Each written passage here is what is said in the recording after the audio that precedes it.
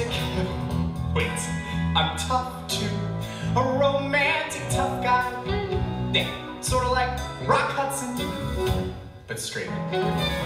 This one time, I wrote a poem for my ex-girlfriend. She said, that's the best thing I've ever read.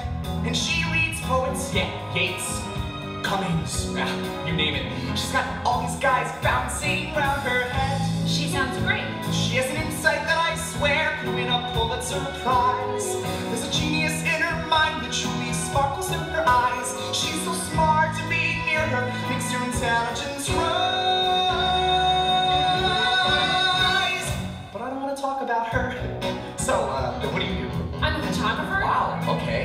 Of stuff do you do? I try to capture the beauty of the human spirit. Speaking of beauty, it reminds me of my ex-girlfriend. Oh, she was gorgeous, but she never really knew it. She had this smile, I swear to God.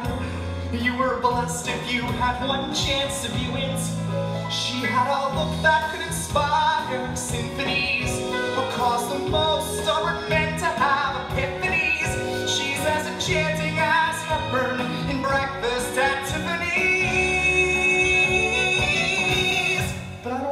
about her. So, you have an ex-girlfriend? Oh, I don't want to talk about it. Oh, right, sorry. There's some things I don't want to talk about either. Okay, like what?